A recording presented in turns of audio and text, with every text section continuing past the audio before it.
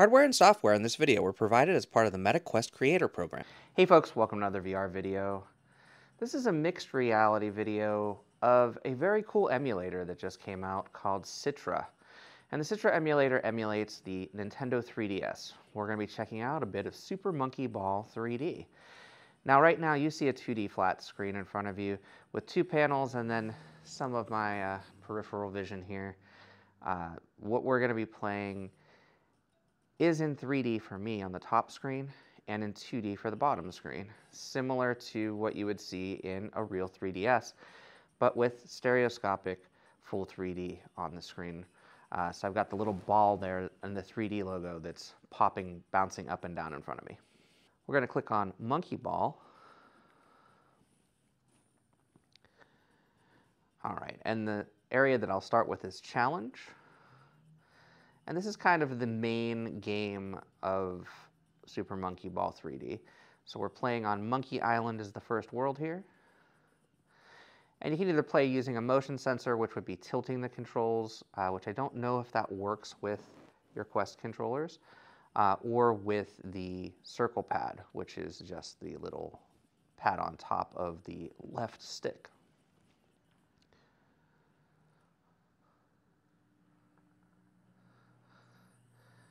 Now this game in particular works great with Citra. Uh, I have played a number of my own titles and at this point, this one is the one that I've played the most of.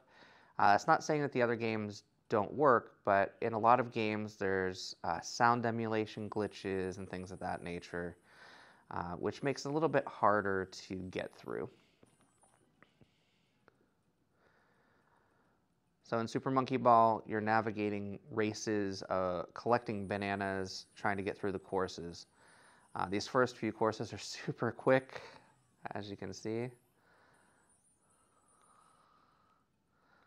This is a classic Sega game, and what I really love about it on the Citra emulator in VR is the fact that that 3D screen is pretty massive. Uh, it's covering most of the back wall of this library conference room right now. There's a giant TV over there that you can't see because it's covered.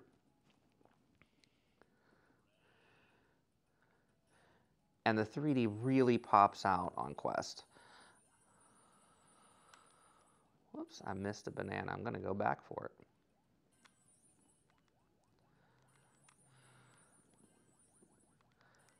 I missed another banana. You don't even really need the bananas I found. I played through the entirety of this uh, challenge game here. But I like to collect them all, especially on these first 10 levels because they're super easy when, once you get into the harder levels in the game. Now this is a bonus stage where you collect the bananas. It's kind of a spiral, which is kind of cool.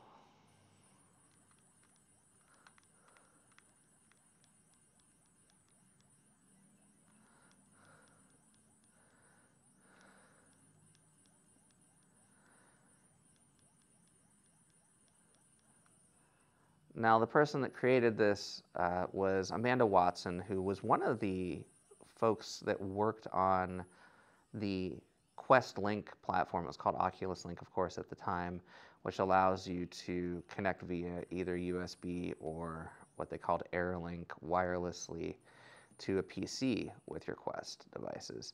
Uh, I do want to note you do not need a PC to use this emulator. This is running fully in standalone on the Quest 3.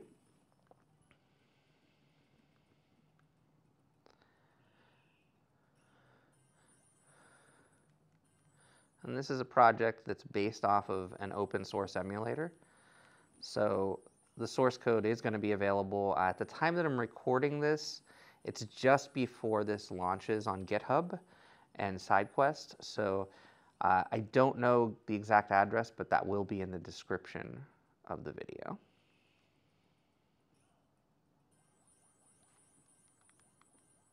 So this is a cool one. If you go over here, that's a collectible.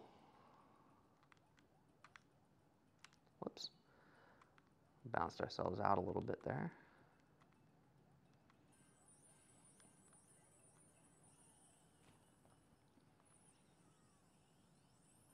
We just got a couple levels of this kind of easy one, and then we'll do a slightly more challenging one. We'll skip ahead so you can see that the levels are not this simple the whole way through. And then I'll show you the kind of not noticed, not credited Super Monkey Ball games that are part of Super Monkey Ball 3D. Because this challenge mode, this mode where you're doing the Super Monkey Ball through the courses, is you know kind of the main game, but they were encouraging multiplayer. So I'll show you that there's actually two other full games within Super Monkey Ball 3D beyond these courses, which is really cool. This was one of the first titles I had on the 3DS platform because it was a launch title. So, you know, when a console launches, you pick up whatever is available at the time. Congratulations, we have completed that course. So we'll do challenge one more time, and we'll pick a slightly harder course. Uh, you can also pick different characters, but I'm going to stay with AiAi because that's the one I actually really enjoy playing as. Let's go with the Dragon Journey. I really like this one.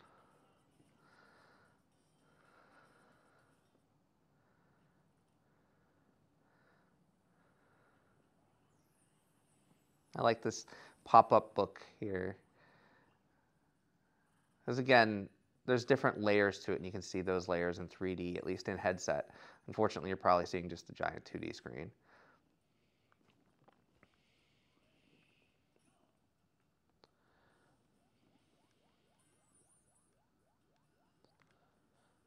So while I'm playing through this level, I will explain Citra is an emulator uh, that is legal and open sourced.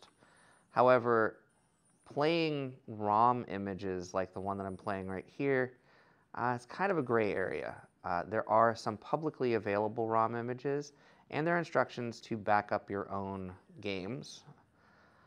Uh, this is one that I do own. This is a backup.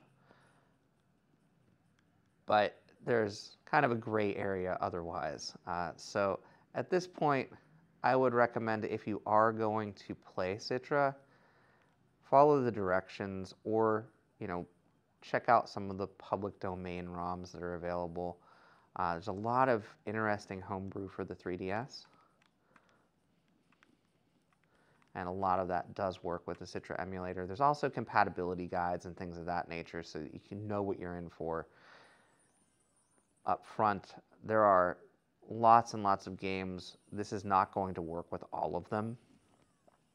And like I said, you're going to see sound glitches and maybe some artifacts as the, like a little bit of stutter as, as the games launch because it's doing shader caching, uh, which is something that almost all Nintendo titles do, but is really noticeable in emulators.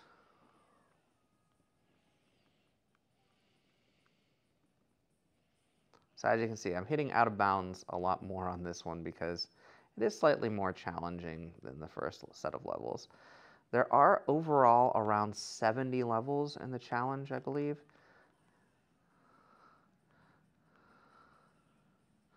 So yeah, I've, I have to continue, and when you continue, it resets your score back to zero.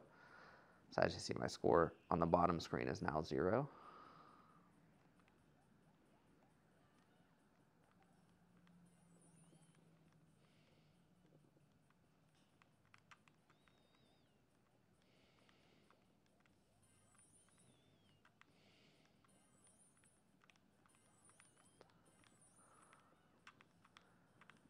But this is just really, really cool in 3D on a screen in front of me as opposed to. I feel like the 3DS, while it has 3D, this is such a sharper 3D experience, and it's, I guess, upscaled a little bit as well. I'm not sure of that uh, to give you the bigger, wider screen on the Quest.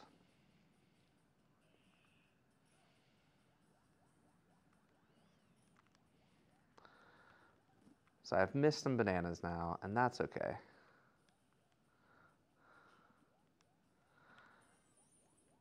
So I really just want to play one. I think we'll actually wrap up after this level here. Yeah, let's go ahead and end. So quit this game. You see the gist of challenge mode. Now let's go check out one of the other game modes, Monkey Race. Now everybody loves Super Mario Kart, and this is actually kind of a pared down version of that featuring the Super Monkey Ball characters. Uh, there's all different cars that you can use. We'll use the Banana SP here, and we will try Monkey Park.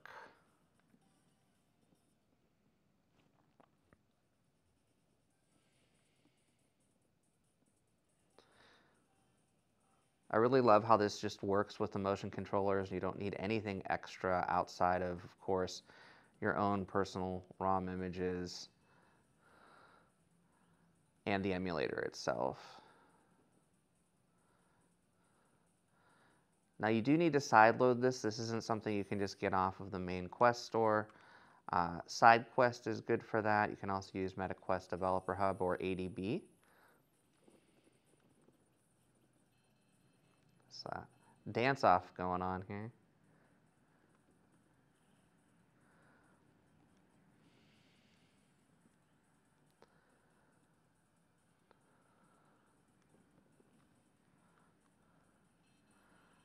having no luck with power-ups. I keep going through the gates when there's no power-up available in them.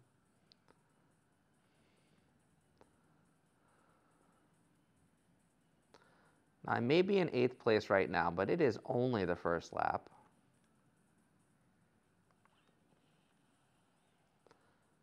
That power-up did not help me. All right, let's see if we can get one this time. There we go, power-up. Now this is cool because now it's going to kind of self-guide itself and we will catch up pretty far in this path.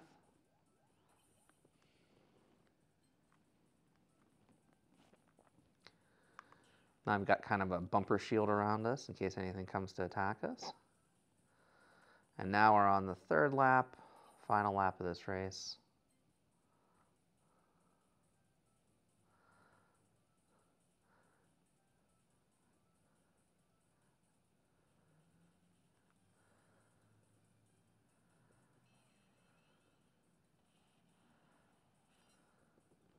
Wow, we got frozen there. That's a power-up I hadn't seen yet.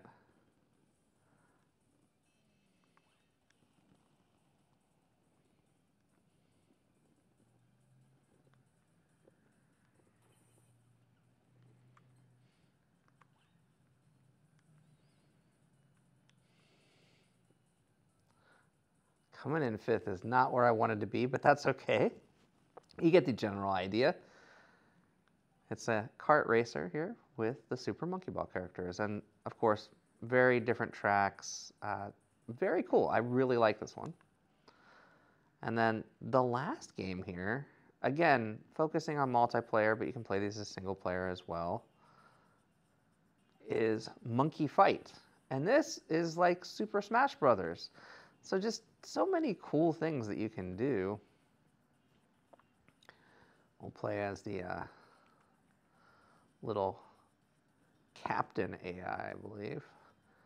And then we'll play against, let's go against baby. Oh wow, we can pick four characters, right, of course. Uh, so we'll do Blue Harbor. We'll do, let's do 90 seconds just to play through quickly. Let's do basic because I'm not good at this type of game. Here we go.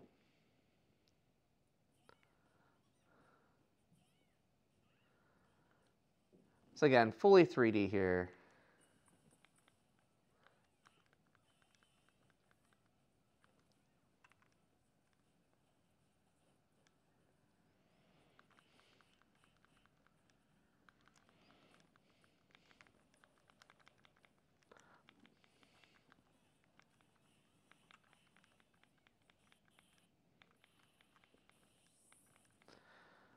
All right, the one with the crown there. Knocked me out of bounds that quickly. This is fun. Oh, I'm, I'm now barreling back over that. This is really cool.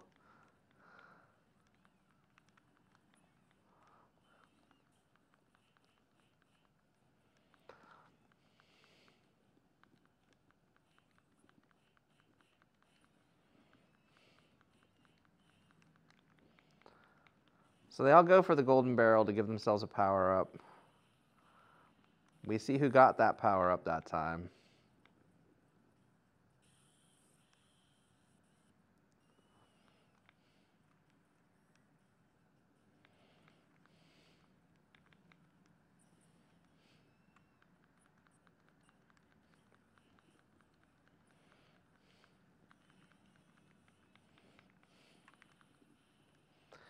All right, let's try to stay away from this guy. All right, so we came in third. We'll end our monkey fight. And I think we'll end this video. Hope you enjoyed this video. This was a look, of course, at Super Monkey Ball 3D, classic Sega game, on the Nintendo 3DS emulator Citra VR. I will leave a link in the description to the Citra emulator. You will have to source your ROM files yourself. Again, there are instructions, things of that nature documentation on the main Citra website. Until next time, get out there and enjoy some VR for yourself, and thanks for watching. Bye-bye now.